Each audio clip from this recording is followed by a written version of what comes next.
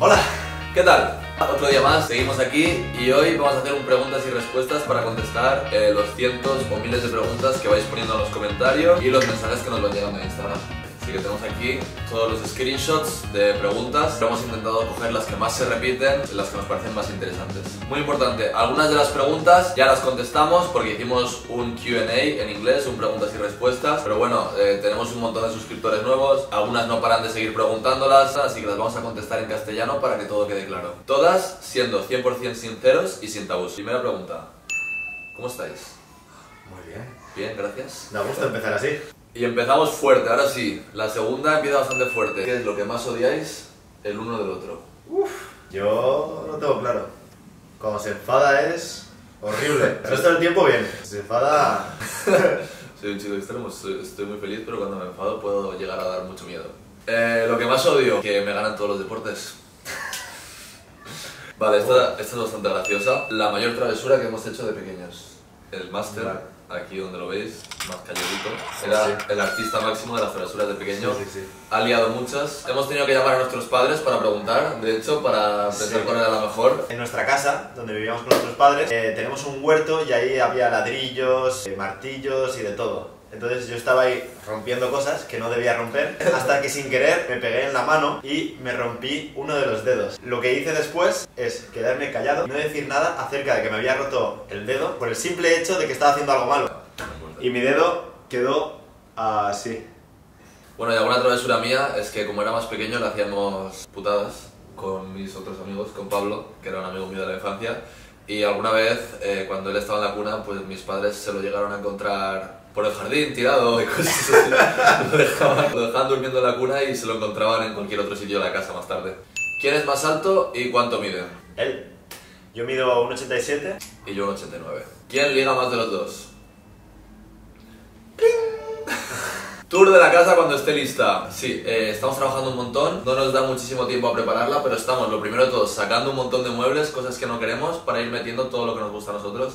Y podemos decir que este es el sector que más listo está, que tenemos ya el sofá, Eso es. Una La plantita. plantita. Claro. Allá arriba no lo veis, pero también está bastante bonito. otro cuadro, esto es otro cuadro. ¿A cuántos países habéis viajado? Después de un duro recuento, Yo, 18. y yo 26 países. Nada mal. Seguramente nos faltan un par, pero más o menos. Sí. Programa de tele favorito. No tenemos tele. ¿Vivís en la misma casa, Miquel y tú? Sí. Sí. ¿Para cuándo el próximo sorteo con Star Surf Camps? La gente tiene ganas. Eh, pues tú dirás, Pablito, la verdad es que yo tengo ganas de ir a Fuerteventura. Tú también, ¿no? Un poquito de surfing. ¿Cómo empezasteis todo? Esto ya lo conté en inglés. Esta pregunta, a ver, la voy a resumir al máximo porque si no se hace larguísimo. Pero todo empezó desde siempre. Nos ha gustado hacer fotos y vídeos de nuestros viajes, de nuestra vida, un montón de cosas. Pero empezar, empezar, empezó cuando yo estaba en Nicaragua.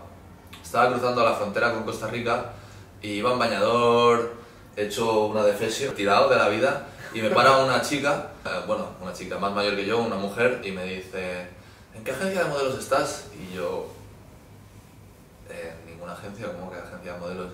Y me dice, ¿cómo que no? Es imposible que no estés en una agencia de modelos. Este miércoles grabamos un anuncio, no sé qué, quiero que estés.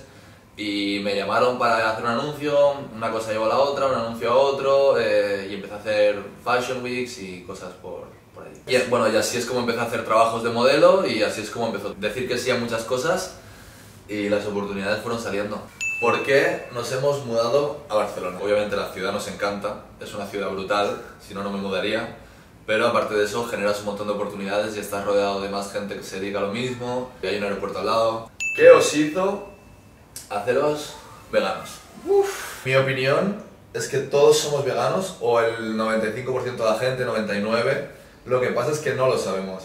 Entonces, yo siendo sincero, voy a ser completamente sincero, cuando era pequeño me reía de los vegetarianos que había en mi colegio. Lo que pasa es que vas viendo vídeos, vas aprendiendo, abres la mente porque hay que abrir la mente y ves lo que pasa. O sea, si pudieras comer una hamburguesa que supiera igual y te diera lo mismo y no hubiera muerto ningún animal ni hubiera sufrido ningún animal, todos elegiríamos la hamburguesa en la que no ha sufrido ningún animal. Yo seguía a un canal de un chaval que hacía parkour, que se hizo vegano, por ejemplo, y fue como, se puede ser vegano y estar sano, y a partir de ahí pues ya fue todo rodado. Claro, claro, es que cuando ves que puedes estar igual de sano, igual de fuerte, incluso más si sabes comer bien, incluso más sano si sabes comer bien, y puedes estar igual de en forma, dices, pues, Eso es. why not? ¿Qué es lo que más os motiva? Oh. Eh, Bueno, las hemos leído casi todas y muchas como que ya tengo las respuestas, que cuando las veo digo, es que... Bueno, desde pequeños, es que yo creo que es algo que, bueno, para mí... Es innato. Sí, para nosotros yo creo que es algo que llevamos dentro, es que es como que no hay otra opción.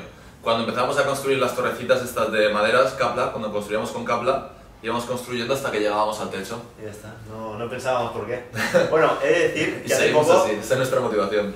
hace poco nos dijeron que en el colegio los profesores se quejaban porque él y yo éramos muy competitivos. Y le dijeron a nuestros padres que de- es que se ve que competíamos por todo y siempre era una carrera llegar hasta el coche, por ejemplo.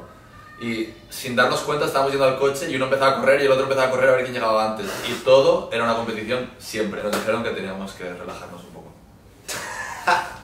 si pudiéramos darle un consejo a nuestros suscriptores, ¿cuál sería? A ver, voy a decir mi opinión sincera, el consejo que daría a mis suscriptores.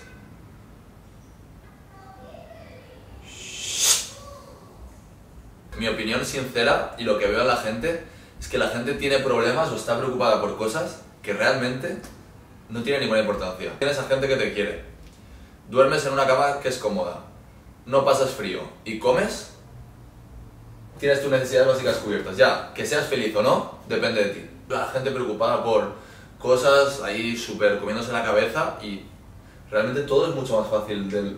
Para mí, vamos, mi opinión es que todo es mucho más fácil que me cuentan sus problemas y digo, pero es que es una tontería, tiene solución. Mi consejo es, si tienes un problema, busca una solución. Si tienes solución, solucionalo rápido y ya está, te olvidas del problema. Y si no tienes solución, pues Solucionado está. solucionado está el problema. Así de sencillo es. Si te comes la cabeza, pues es porque tú quieres ya. Siguiente pregunta. ¿Quién es mejor en los deportes? A ver, en mortales. Sí, bueno, va, que me Y ganas en en fuerza- todo. Dilo, dilo, me ganas en todo. ¿En menos, todo no? menos en skate. Oh. Bueno, ¿cuál ha sido nuestra mejor experiencia viajando? Mm, Sri Lanka. En Sri Lanka. O sea, es, es muy difícil elegir una mejor experiencia viajando porque ha habido muy buenas Sí, sí, sí, experiencias viajando. Pero sin duda la mejor de todas es en Sri Lanka con los Sí, locales. una de las mejores. Un día compramos comida y fuimos a casa de unos locales y, co- y cocinamos comida tradicional de allí junto con ellos que nos enseñaron. Después comimos todos juntos y fue brutal.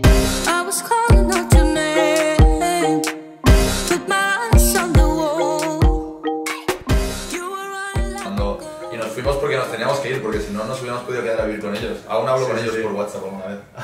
De hecho. Siguiente. ¿Qué rutinas de deporte hacéis durante los viajes o cómo entrenáis sin gimnasio? Un momento, Y- por favor. Aquí está el secreto de entrenar de viaje. Esto y zapatillas de correr. Un poco problemático cuando te vas al desierto.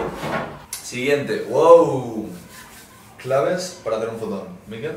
El ángulo, la luz, un buen momento y un buen set preset. ¿Cómo editáis? Voice Ah. presets. Editamos con Lightroom y tenemos unos filtros que hemos hecho a lo largo del tiempo Sí. y básicamente vamos editando en Lightroom y haciendo nuevos filtros Eso es. según el gusto. Link en la descripción. Películas. Ustedes estudian para hacer esas películas que hacen como videos. Son muy heavy, se pasan de cool, parce. Pues no, no estudiamos. No para hacer las películas, vamos. Nos hemos ido formando, hemos ido aprendiendo internet, YouTube, amigos, Y a base de hacer probando también. y siempre intentando mejorar. Si te conformas, No si, mejores. si estás contento con lo que haces, no vas a mejorar. El artista, que está siempre a disgusto con las obras. ¿De dónde sale todo el dinero que tenemos y cuánto dinero ganamos más o menos al mes? Fuentes de ingresos. Modelos, publicidad de YouTube E e Instagram, el partner de YouTube, que Es poquito, pero bueno. vamos A la mejorando. cuenta vamos mejorando. Y trabajos de filmmaker y fotógrafos, sí. Hemos hecho curros para Dior, hemos hecho curros para Nike, que ya son campañas tochas. Parece, Sí, en verdad nos sí. olvidan cosas que hacemos, hacemos tantas cosas y los voice presets. Y de todo esto, ¿cuánto ganamos? En esto hay gente que no se moja nada, pero nosotros nos vamos a mojar. Pues digamos que un mes que no trabajamos, que no hacemos casi nada, que estamos más centrados en nuestras cosas, puede estar por 3.000 euros. Y los meses buenos, estos últimos meses que hemos hecho bastantes cosas, he grabado un anuncio en Bali, he hecho cositas, eh, pasan las 5 cifras. Ya está, hemos sido claros. Y la última. Y la última, last question, la última pregunta. ¿Siempre se mantienen así de positivos? ¿Cómo lo logran? Pues yo creo que esta pregunta va un poco conectada con la respuesta que hemos hecho antes.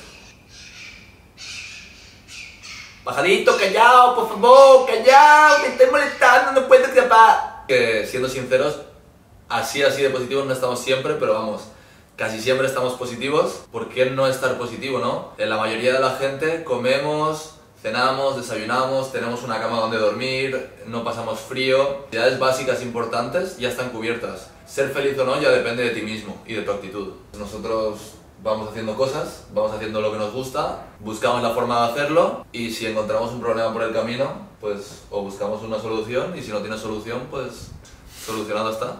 Y estamos felices, disfrutamos y seguimos disfrutando. Y así que con esto acabamos el preguntas y respuestas. Hemos sido lo más sinceros posible. Esperemos que os haya gustado. Si no estáis suscritos, suscribíos. Estamos creciendo súper rápido. Muchísimas gracias por el apoyo. Estamos a puntito De de, los 50k. de 50.000. Gracias a todos los que os estáis uniendo. Gracias a vosotros podemos hacer más locuras. Aún más locuras. Y este invierno se vienen locuras fuertes. Estamos aún pensando qué hacer. Pero bueno, estamos ilusionados, estamos contentos. Y a seguir a tope. Chao. Chao.